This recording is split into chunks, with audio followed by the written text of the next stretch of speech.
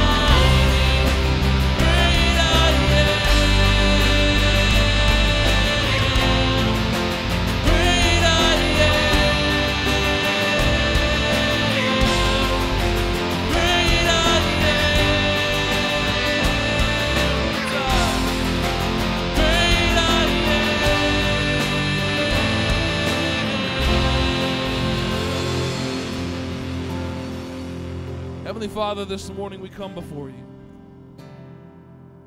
Lord, the God that was, that is, and who is to come, the great I am. Lord, the very God that when the mountains hear his name, the earth trembles, the earth shakes, and the world is changed. God, that is the one that we celebrate and worship this morning. Lord, we know how great and mighty you are. Lord, we know how awesome your presence is. But Lord, this morning I would ask, Lord, as we gather in this place, as we gather at Clough Pike to celebrate the great I am, Lord, may our hearts see who you are this morning. With every out, head bowed, every eye closed in this moment, we sing of our great God. And sometimes I think we get very, we, we get scared of what God might ask us to do because of how great He is.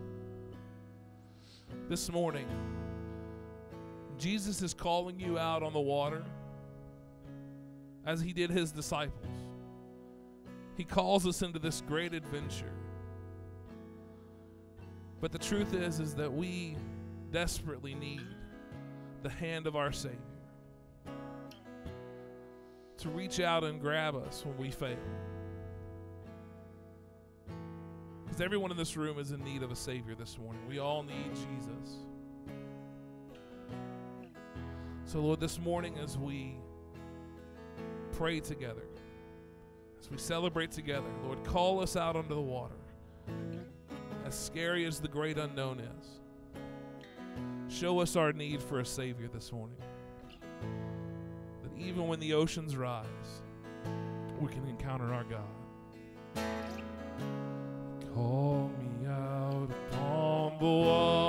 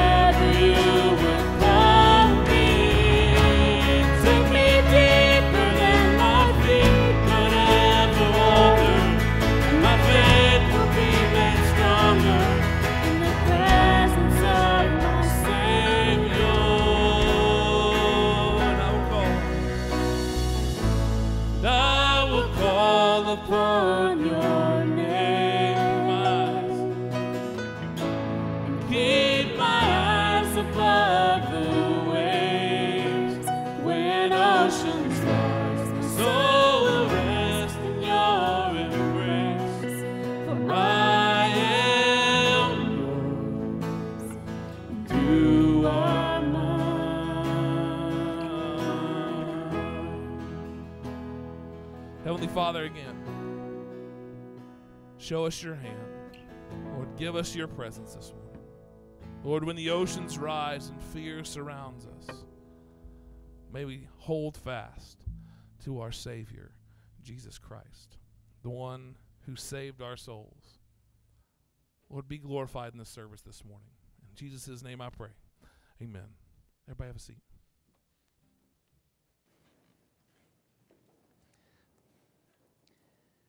I don't know what it is about the, the little uh, tag, the, the chorus of that, of that song. Maybe it's the, the, the borders and the wonders and the water. And every time I sing it, I want to sing it with like a Boston accent.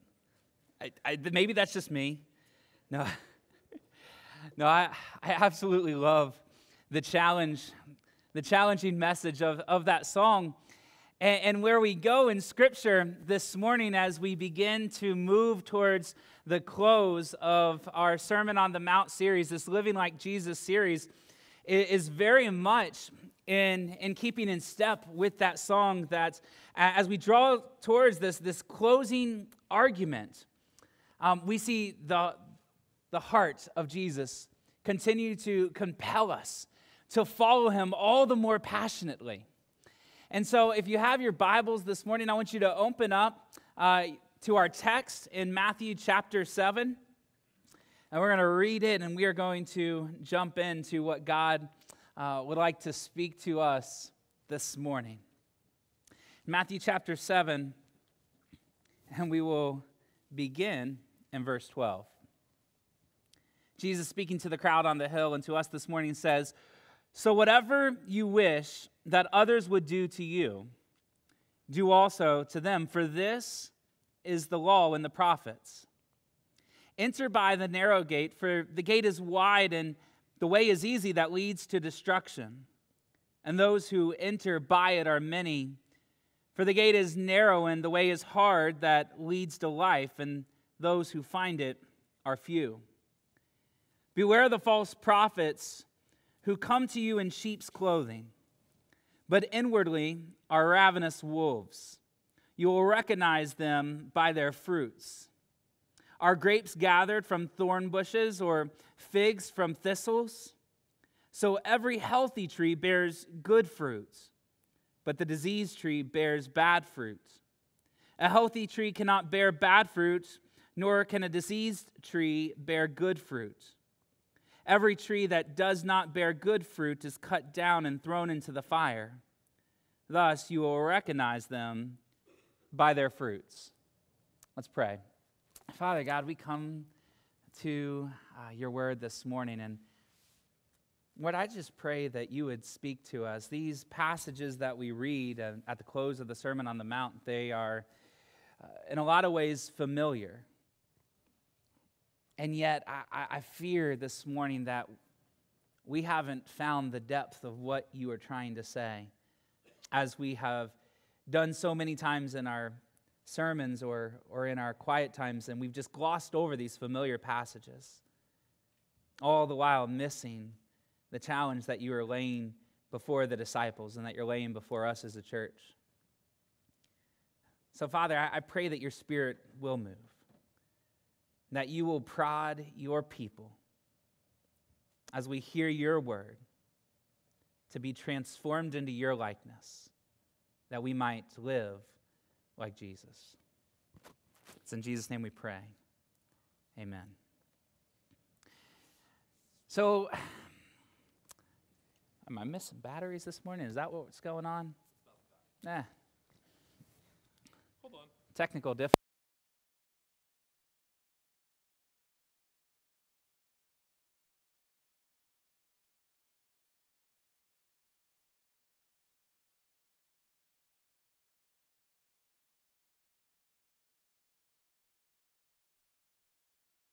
Now? Okay. Refocusing just a little bit. So, as I read this passage this morning, I, I, and really in my prayer, I hope you heard kind of how, how I came to this passage this morning. So we read this golden rule. And how many of you have had your parents tell you the golden rule when you were growing up? You kind of heard the golden rule, you knew the golden rule. Did anybody realize that the golden rule was in Scripture? You might have, you might not have. And, and we kind of, you know, hear people tell it, and maybe not so much today, but this idea hey, you're supposed to do to others what you would want done to yourself. And we kind of just take that as societal, you know, basically being nice to each other, right? This is just how society's supposed to be governed. Any proper civilization ought to be nice to each other. And here it is, we find the golden rule, and Jesus is saying the golden rule, and, and he's coming to the close of this sermon. So there, I, am reading this passage and I'm going, there, there's something that Jesus wants us to get here. He's making his closing argument. This is supposed to be the main point. This is supposed to be the crux of the message. And, and as I read this, I'm going, the golden rule, really? That's what you want to open up with, Jesus? Is, is that what you have for us? This morning? Is that what you want us to read? I mean, I get it. Listen, as, as Christians, we're supposed to be nice to each other. That's an, an important thing, but isn't everybody supposed to be nice to each other? Unbelievers teach their children to be nice to each other. Sometimes it doesn't help, they still hit each other. But I'm telling you, I teach them to be nice to each other. And, and so this is what you open up with Jesus. This is your closing argument. This is the main point that you want us to get. He says, Whatever you wish that others would do to you, do also to them. For this is the law and the prophets. Is this what you're wanting us to understand, Jesus? Is this the crux of your message? See, at first glance, there's nothing uniquely surprising about this verse. It's common sense, really, right? Whatever you want done to you, be, you know, do it for others. And, and maybe you've crossed this before and, and you might have said something along these lines Jesus, you know, we really don't come to you for common sense, though perhaps we ought to do that more often. You know, we come to Jesus for that deep spiritual insight, don't we? We want that, that born again stuff, that washed in the blood stuff, that life in the spirit stuff, and we read the golden rule and we just go, eh, what is it that Jesus is really getting at? Right? The summit of his teaching is, is this it found in this passage? But like I said, that's only at first glance. See, as I read the passage and as I worked over this passage in my heart and read commentaries on this passage, I, I, began to realize that there is indeed something incredibly unique, something incredibly sublime about this Golden Rule passage. And, and I don't want you to miss it. I didn't just want to gloss over it because I feared if I just glossed over this Golden Rule passage, eh, I wouldn't do it justice to what Jesus is saying. And so there's something that he wants us to get. And so, for starters, this is what you need to know about Jesus saying this golden rule do unto others as you would have done to you. And, and it's very, very simple. It's this it had never been said before. It had never been said before. In all the years of civil, civilization, right? For the Egyptians and the Sumerians and the time they were living in, the Greeks and the Roman empires of the day, it had never been said before. Does that not just strike you as a, a little bit odd?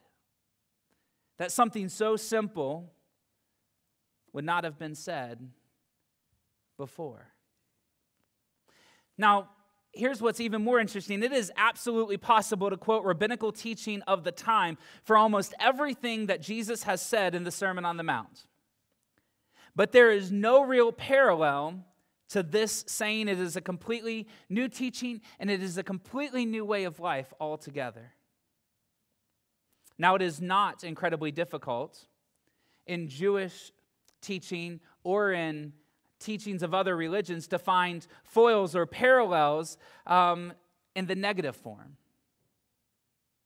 Every time up to this point that something similar was said, it was said in a negative way To give you a few examples, one of the most famous Jewish teachers, Hillel, is quoted as saying, What is hateful to yourself, do to no other. The book of Tobit, which is a book included in the uh, Septuagint, a Greek transliteration of the Old Testament, plus some additional books that are generally called apocryphal, is quoted as saying, What thou hast hated, do to no other man. The Jewish work, the letters of Aristeas, answers an Egyptian king when uh, they were down in Egypt. They were writing the Septuagint at the time, and the Egyptian king asked the Greek, uh, or I'm sorry, the asked the Hebrew teachers of the time. He says, "What is the teaching of wisdom?" And they responded, and they said with as you wish that no evil should befall you, but to be a partaker of good things, you should also act on the same principle towards others. And perhaps that is the closest that anyone gets to this teaching here that we find in the Sermon on the Mount. In other religions, in Confucianism, we find the story of Sei Kung asking Confucius, Is there one word which may serve as a rule of practice for all of one's life? And Confucius replies, Is it not reciprocity? Such a word. What you do not want done to yourself, do not to others. The Greeks and the Romans also taught basically the same thing. There's a story of a king who advises their the subordinate officials do not do to others the things which make you angry when you experience them at the hands of other people. And you're listening to all this, and you're probably asking the same question that would be very, very natural. So what? Oh, I'm not going to leave you hanging. What's the point? And here it is. In the negative, in the negative form, the teaching is only to not do that which is displeasing or offensive. The positive encompasses this and also so much more. It includes the requirement that we are to do good for others as well. The idea of the gospel being lived out in our lives is that we are to model the life of Christ, which is to seek and save that which is lost, which is to rescue the perishing, to care for the dying, as the old hymn says, which is to put others before ourselves. The very idea that the King of Heaven has come down to earth to die for you and me is the idea that he loved us even more than he loved himself. And so, at the pinnacle of living like Jesus, this idea, this golden rule, whatever you wish that others would do to you, do also for them, is not just to do them no harm. And I think that's the way we, all, we often read this golden rule. This is the way we often teach this golden rule. The idea that, hey, you don't want to be hit, so you don't hit yourself, you know, hit others, right? You, we teach it with the negative. And when we do that, we're missing so much of what Christ is telling us in this passage. See, a goodness which consists in doing nothing would be a complete contradiction of everything that Christian goodness means. Christian goodness, at the very core of what it is, is a call to action. It is not a call to sit idle, but a call to do something to make a difference. And it's not just a feel good passage to make a difference in serving, but serving so that we might share the good news of Jesus Christ with those that are around us. And so he opens up with this passage that we read this morning. And he says, It's not just that you're not to do harm to others, but that you're supposed to put others before yourself. And that is where Christianity gets hard. Because it's easy, maybe, to, you know, not hate others. It's easy, maybe, to not hurt others. It's really difficult to put others' needs before your needs and others' wants before your wants. To really truly reflect this idea of living like Jesus and presenting the gospel in our lifestyle, in our actions, and also in our words, the words that we speak. And so, Jesus, in this closing, he opens up. He says, Whatever you wish that others would do to you, do also to them.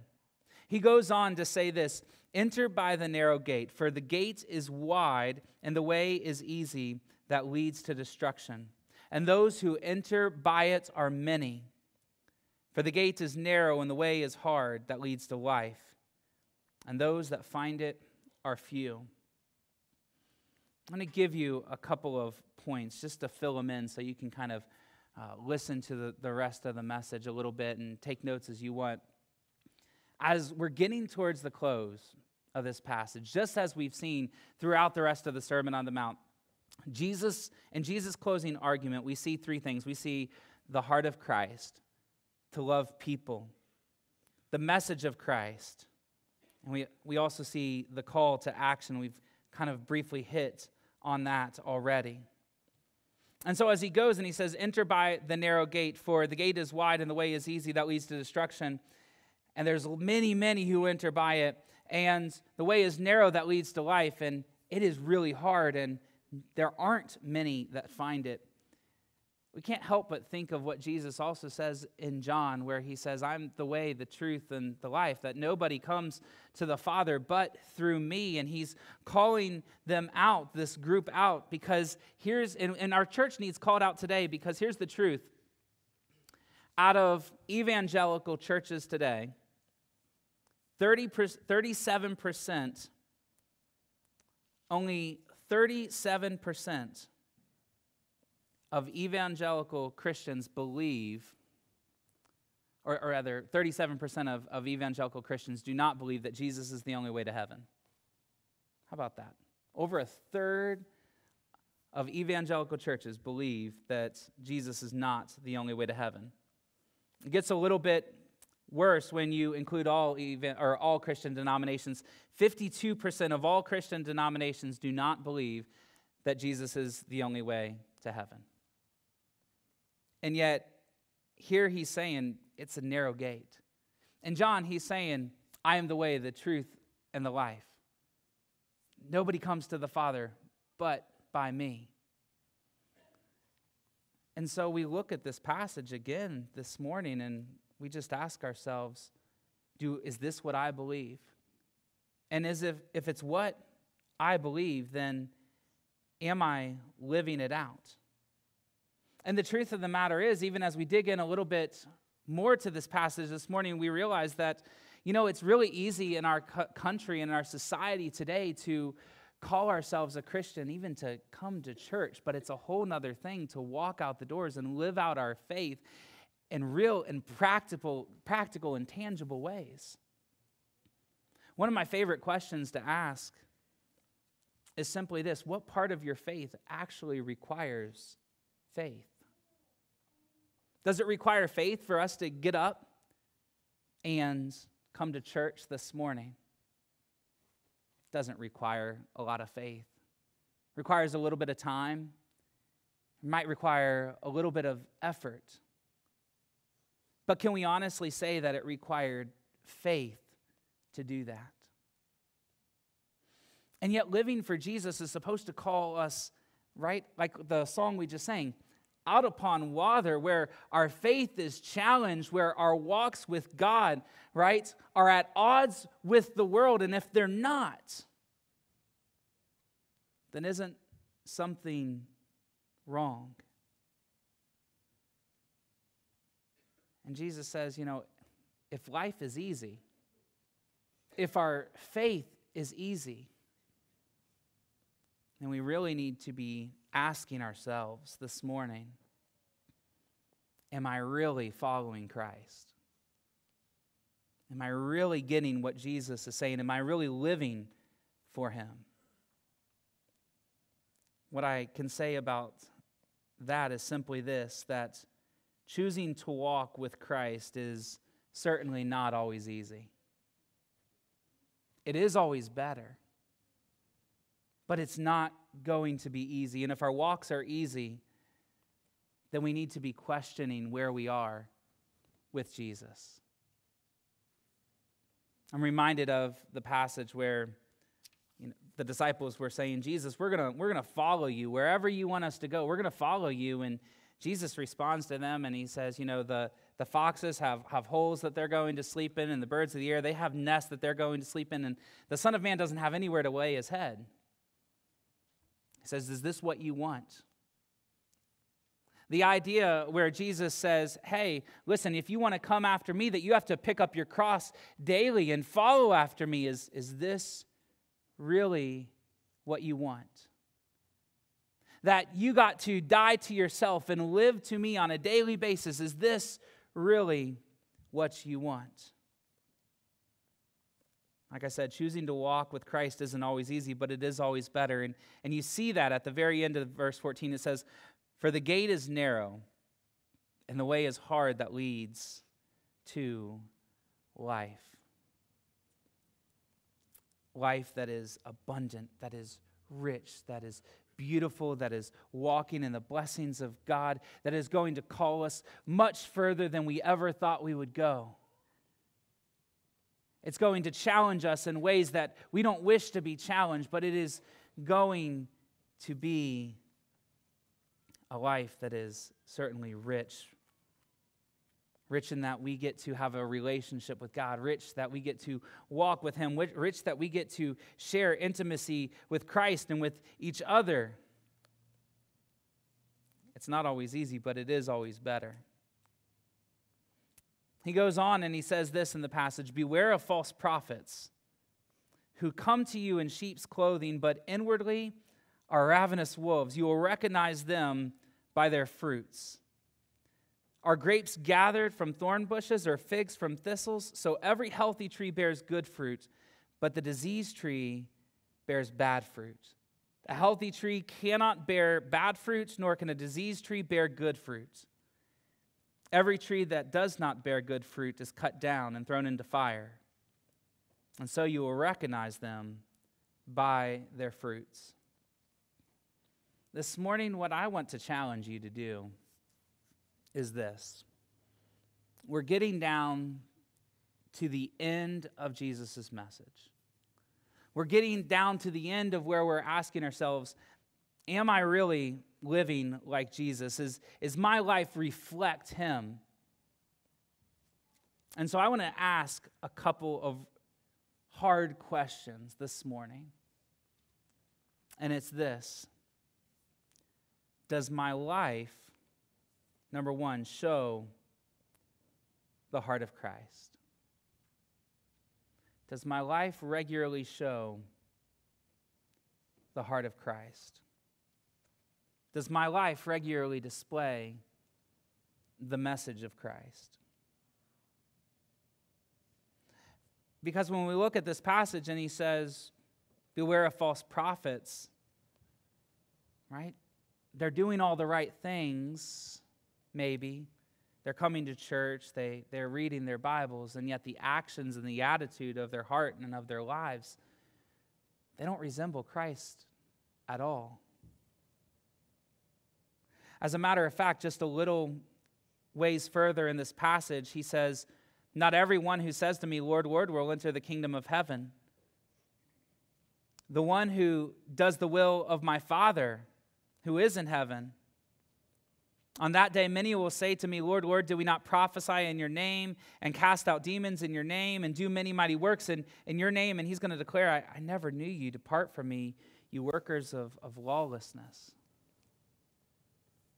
And so I'm just asking if our lives don't really look like Jesus, then are we sure we really have him in the first place? And I get it, nobody's perfect. I'm not asking for anybody to be perfect. But do our lives regularly, regularly reflect the life and the message of Christ. I know one of one of the quotes that I've quoted often, one that stayed in my heart since I was a youth was the quote that's on the DC Talk CD, and where it says, The greatest cause of atheism in the world today is Christians who acknowledge Jesus with their lips and go on to live by another lifestyle. And now, as I read this passage this morning, I, I just was challenged by it. As I read the passage this past week, I was challenged by it that it's really easy to come to church. It's really easy to not do bad things, maybe, or to not do bad things to others. It's a whole nother thing to put others before yourself. It's a whole nother thing that my life and my words match up with who Jesus was and who Jesus is. And so, as we close this idea of this living like Jesus sermon, let me just challenge you as a church as we close out, as we enter into the summer months. How are you living like Jesus? What are you doing for Christ to help the church to grow, to serve those around you? One of the things that we can look at really simply is this next week, our youth are doing a Serve Saturday, and they're going out just to be a blessing to our church and to the people in our community, wanting to serve those and make Christ known. A little bit later in the year, we're going to have another Serve Sunday where we're able to go out and say, look, church isn't supposed to be just about us. Or we can go out and serve our community in many ways again. And so I'm just asking you, what are you doing to live like Christ? And if not, can we recognize that there's something broken? Can we recognize that we either have, at one point in our life, put our hope and our trust in Christ, but we've walked away from that hope and trust? Or perhaps we've never put our hope and our trust in Christ. We've never experienced the salvation that we have been offered freely and then called to live it out before a world that needs it as well. This morning, as Aaron comes up here again, I just want to challenge our church to simply our do our lives reflect the heart of Christ? Do we display the message of Christ, the gospel that we're putting others before ourselves as Christ did? Or do we simply just need Christ, His salvation in our lives this morning?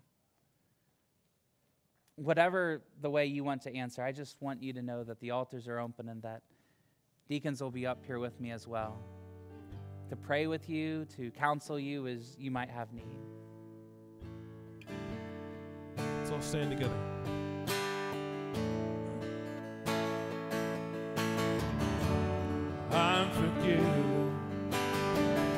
You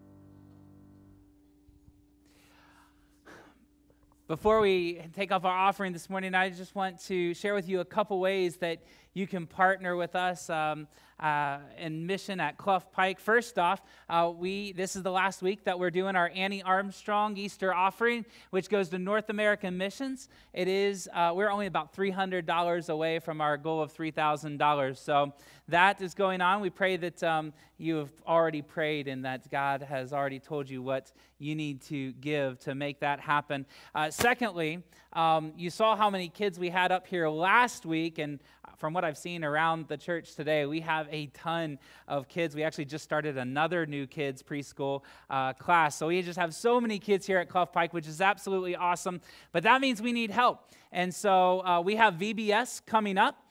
And uh, we need VBS workers, which is our Vacation Bible School workers. If you'd like more information, you can talk to Candace. But if you want to help and you already know you want to help, we're going to have lunch downstairs. Um, and you can learn a little bit more about uh, VBS this year and how you can plug in.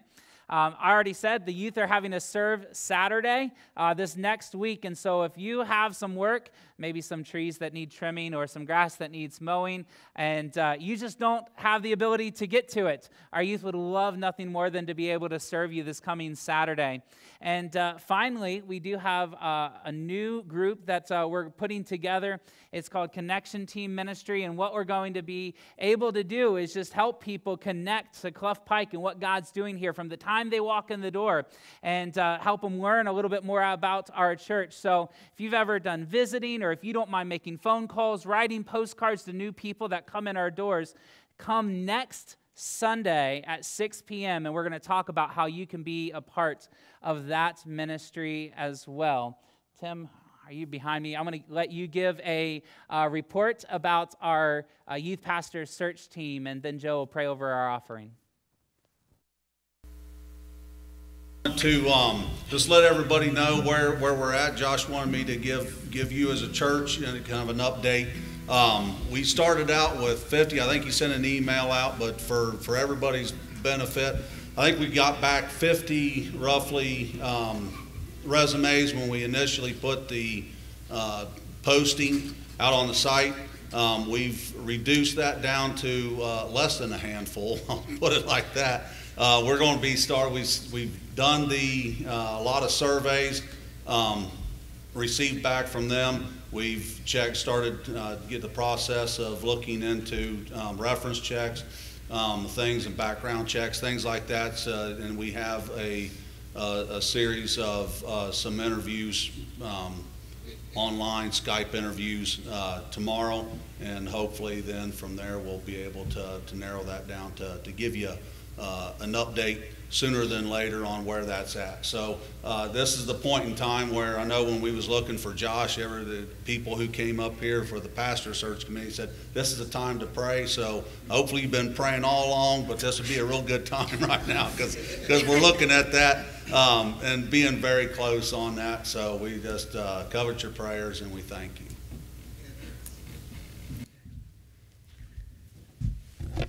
God's great. He's uh, it's good to see him stirring. It's good to see him raising up people, and and uh, I personally thank him for all he's done for me lately. Let's pray for our tithes and offering. Dear Lord, as we've come to you this morning, Lord, we've hear, we've heard your word. We've spe- we've felt your spirit, Lord. We do thank you for that. We thank you for the man of God that you've brought to us, and we do want to give back just a small portion of what you've provided for us. And this is our time to do that. We raise you up. We love you. And uh, if someone here today, if your heart was beating fast during uh, the invitation, seek someone out today uh, to talk to. Uh, that doesn't happen by chance. God is seeking you you need to stand up and, and see what He has in store for you. It's in your name I pray. Amen.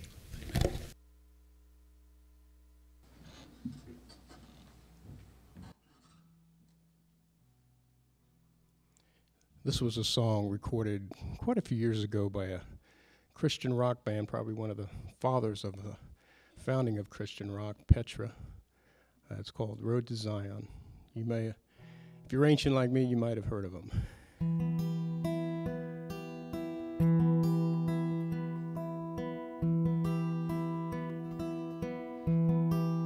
There is a way that leads to life. The few that find it never die. Past mountain peaks, graced white as snow, the way grows brighter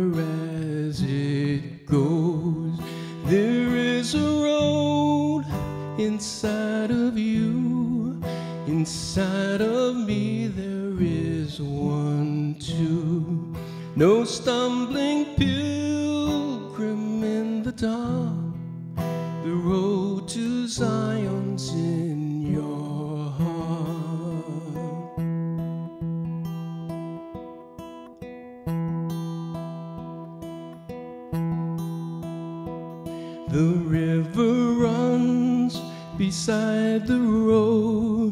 its waters living as they flow. In liquid voice, the water calls. On thirsty knees, a pilgrim falls. There is a road inside of you. Inside of me there is one too. No stumbling the. The road to Zion's in your heart.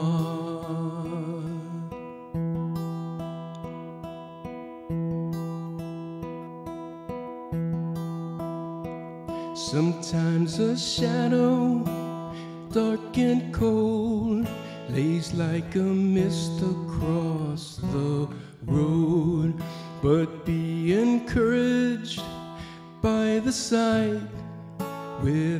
there's a shadow, there's a light. There is a road inside of you, inside of me, there is one too. No stumbling pilgrim in the dark.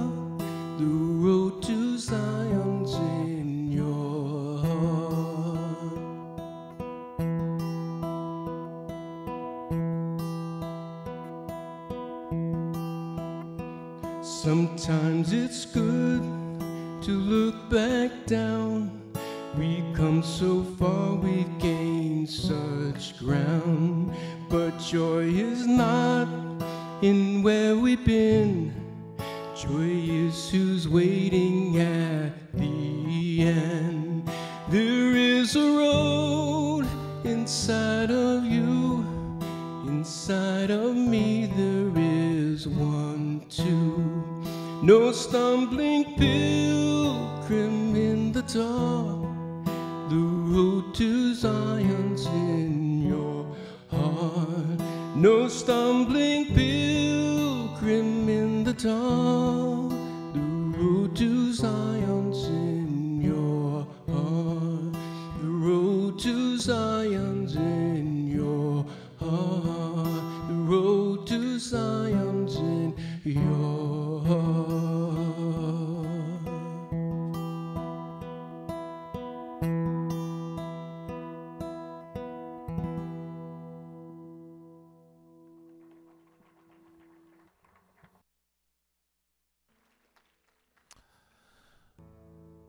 The lines of that song says, "Joy is not found in our past; it's in the one who we see ahead."